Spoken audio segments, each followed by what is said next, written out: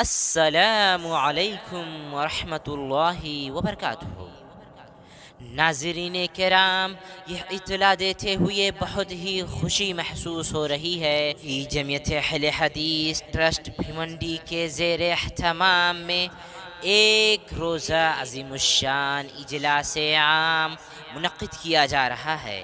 بتاریخ سات اگست دو ہزار باویس بروز إتوار بعد نماز عصر تعیشہ بمقام جامع مسجد اہل حدیث سوداگر محلہ اجلاس عام کی نظامت فرمائیں گے فضلت الشیخ رشید صلافی حفظہ اللہ اجلاس عام کی صدارت فرمائیں گے فضلت الشیخ عبدالسلام صلافی حفظہ اللہ امیر صوبائی جمعیت اہل حدیث ممبئی۔ آج بھی آپ بتائیے ہماری اتنی ساری کمزوریوں کے بعد بھی ہم آپ بہت کمزور ہیں اللہ تعالی ہم سب کی اصلاح فرمائے۔ لیکن کتنی محبت ہے اللہ تعالیٰ کے گھر سے کتنا لگاؤ ہے اللہ کے گھر سے۔ یہ لگاؤ چاہے جس ریشیو میں ہو بہت کم ہے۔ بہت زیادہ ہونا چاہیے۔ لیکن اس کے باوجود ایمان والوں کا لگاؤ کتنا ہے اللہ کے گھر سے؟ یہ لگاؤ اس بات کی دلیل ہے اس بات کی دلیل ہے ایمان ہمارے دلوں میں ایمان ہماری زندگیوں میں باقی ہے۔ اس طور پر کہ ہم اللہ کے گھر سے بڑی محبت کرتے ہیں۔ خطاب عام کے لیے فضلت الشیخ مختار احمد مدنی حفظہ اللہ۔ آج ہمارے درمیان بہت ساری ایسی تنظیمیں ہیں۔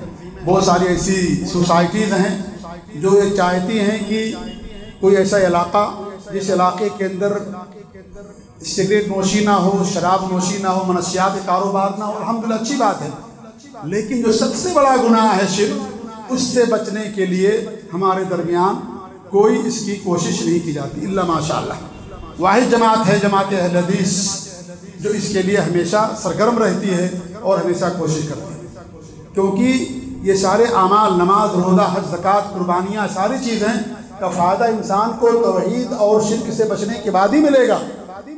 فضلت الشیخ عبدالحسیب مدنی حفظہ اللہ نماز ہماری زندگی میں ہمارا بہت بڑا سہارا ہے بلکہ اگر کہہ سکے تو یہ بیجا نہیں ہوگا کہ یہ سب سے بڑا سہارا ہے ہمارا۔ یہ نماز ہمارا سب سے بڑا سہارا ہے۔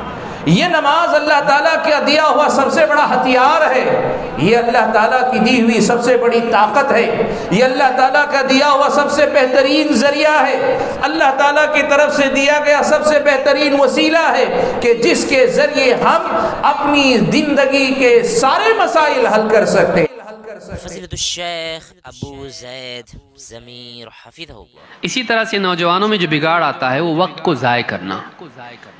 وقت کو ضائع کرنا۔ وقت کی اہمیت کا احساس اس عمر میں نہیں ہوتا ہے۔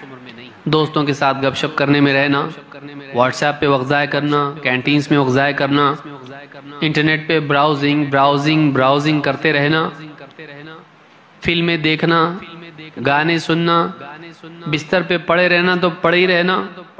کام کاج کچھ نہیں کرنا گھومنا پھرنا دوستوں کے ساتھ ادھر ادھر جا۔